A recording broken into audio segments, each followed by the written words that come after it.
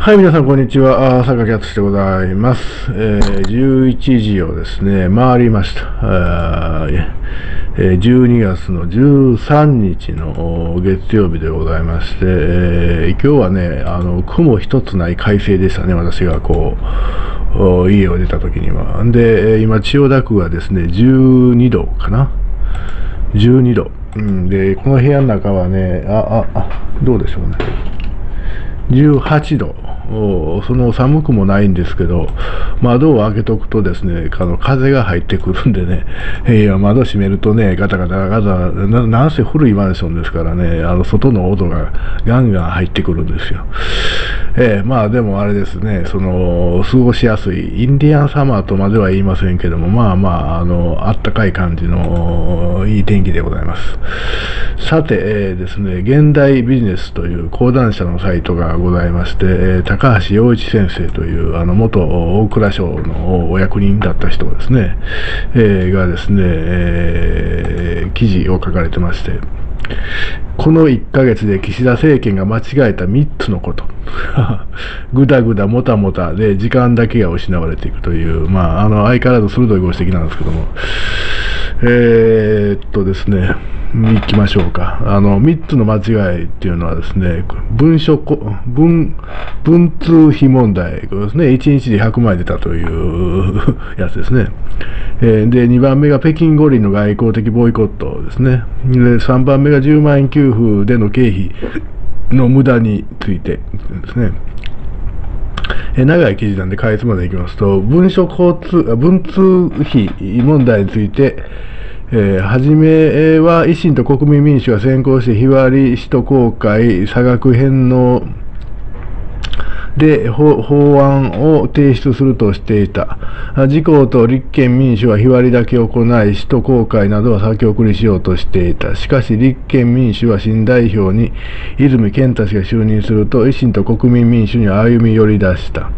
今ではそこに共産も相乗りしようとしている。ただ自公はこれらの意見を無視して日割りだけで対応し、維新らの法案提出は無視しようとしている。この問題は20年前から言われてきたことだが、結局今国会での解決は困難になりつつあると。まあ、どうでも言っちゃどうでもいい話ですけどね、あの、領収書出さなくてもいいっていう、あれがなんともね、要は、無税ですからね、えーまあずるい制度ですね、なんかね。まあ、どう言うてもね、国会議員ってね、あの、真面目にやってたらね、金出ていくばっかりでしょ、あれ。ようみんなやってるなと思って。えーなんか、何かをしないことにはですね、こう、必要な経費賄えない、賄えないはずなんですよ、あれ。見てると。でも何かをやるとですね、それが法律に引っかかったりするわけですね。えーいや、なんかあれですね、大変そうですね。2番目、北京五輪での外交的ボイコットについて、海外ではアメリカ、イギリス、オーストラリア、カナダ、ニュージーランドは閣僚級外交団を送らないとしている。さすがファイブアイズの国の結束だ。ただし西側諸国でも2024年のパリ五輪を控えるフランスは外交的ボイコットに消極的だ。ロシアはプーチン大統領が開会式に参加すると言っている。もっともロシアはドーピング問題があって国としての参加ではないから大統領が参加すると言ってもその意味合いは異なると。まあまあ、従来私も言うてる通りですね。えバランス外交を進めるインドは派遣、インドの派遣は微妙なところだと。一方、日本を見ると、自民党な、自民内で高市政調会長らの保守系議員、は外交的ボイコットを政府に要請しているが、茂木幹事長や福田総務会長は慎重だ。まあ、福田さんなんてどっちかというとパンダ派側ですからね、えー公明党の姿勢はさらに慎重。公明党なんか統合とパンダ派側ですよ。中国以外で一番中国共産党と友好的な日本の公明党やと言われてますからね。うん。えーっと、飛ばしまして。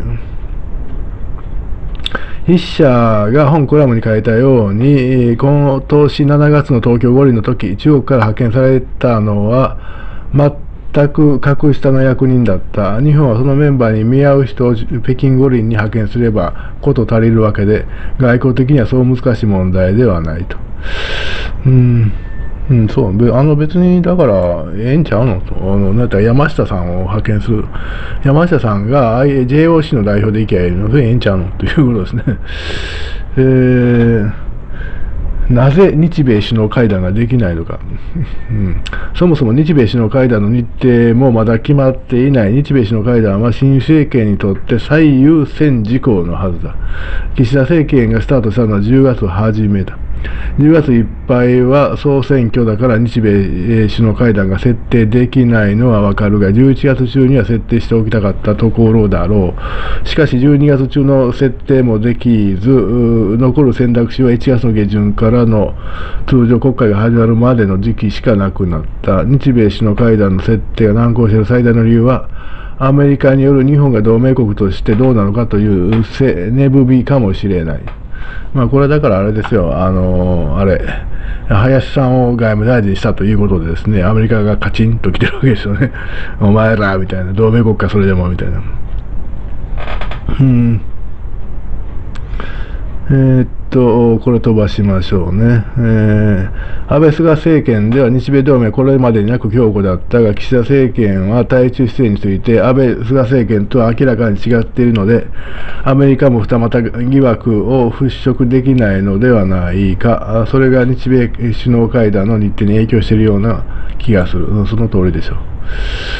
えー、10万円給付、10万円給付での経費の無駄について今なお政府は混乱している。政府方針が10万円給付を5万円現金、5万円クーポンと分けたからだ。実務を行う地方から見れば面倒くさい上にクーポン給付で事務経費が1000億円ほどかかると言われて、言われたので、無駄遣いとの批判も出ている。あな、10万円現金配ったらだけの話やん。ほんなんまだそれクーポンするとか言ったらそこが利権が出てきて、ウェーっていろんな利権屋が集まってくるだけの話でしょ？なんちゅうアホなことしてるんでしょうね。あの、まあいいか、ああまあちょっと記事はまとめましょうか、最後。えー先週のドタバタを、もう来ないわ。最後行きましょうか。えー、しかし、これほどまでに岸田政権において政策立案実務能力がないとは驚きだ。これは素人でも少し考えればわかるほどだが、今なお混乱しているのを見ると、内政も外交もこの先が思いやられるということでして、あの、なんか、仕事できる人というイメージで、えー、私も見ていたんですけども、まあ、一生懸命やってはりましたやん、外務大臣とか、その他、重要閣僚、閣僚。でも、総理大臣になった途端にポンコツぶりを発揮してですね、僕ポンコツです、みたいな、何もわかりません、人の言うこと聞いてやります、とか言って。ね情けない。あの、菅さんの方がまだ、なんとなく あの、自分がおバカなことをですね、彼はよく分かっていたんで、えー、それをベースにものを進めようとしていたところが、まあ、謙虚なんですけど、岸田さんは下手には自分はおバカでないと思ってるんじゃないでしょうかね。おバカやん、それをはっきり言うて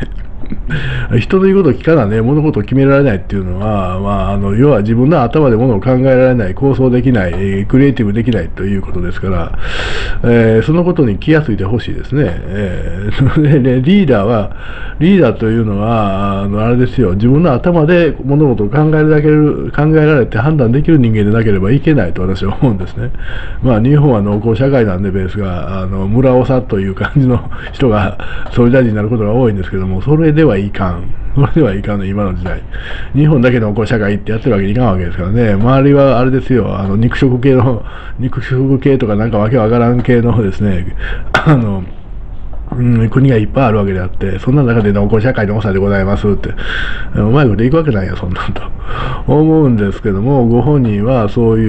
うことをですね、ご理解されていないと。いう感じですね。だからこれね、意外に短命ですよ。いつも言うんですけど、岸田さん、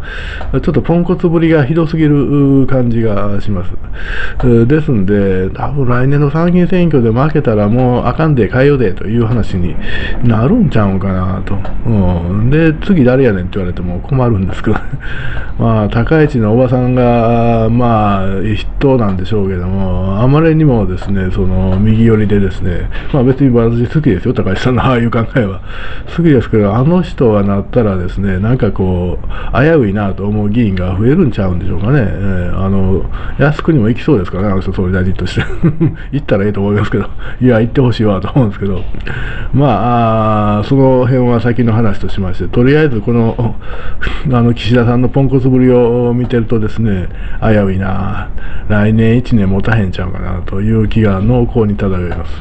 えー、現代ビジネスの、うん、このサイトの1ページ目貼っときますんで、えー、皆さん、私今半分も読んでませんのでですね、